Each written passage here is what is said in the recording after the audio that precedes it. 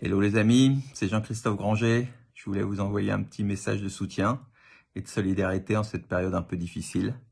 Nous, on vient de sortir du confinement à Paris. On va voir ce que ça donne.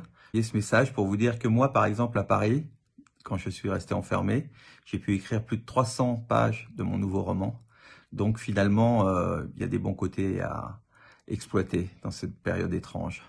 Et vous, si vous voulez bosser votre français, travailler votre devoir, eh bien, c'est le moment.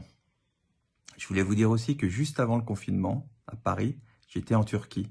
Je me souviens même que j'ai cherché partout à Ankara des masques parce qu'il y en avait déjà plus à Paris. Donc j'ai acheté mes masques, j'ai acheté mon gel et puis euh, bon, les portes se sont refermées à Paris quand je suis arrivé. Et j'ai gardé un très très bon souvenir de mon séjour à Ankara. J'ai été très très bien accueilli par l'Institut français et par tous les lecteurs turcs qui ont vraiment été là, présents. J'ai signé plein de livres. On s'est bien amusé. J'ai eu un très très bon échange. Vraiment, je suis mélancolique quand je passe à la Turquie.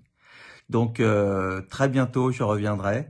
Et encore une fois, euh, je voulais vous dire courage et remercier l'Institut français qui m'a vraiment euh, permis de passer un merveilleux séjour en Turquie. Salut les amis.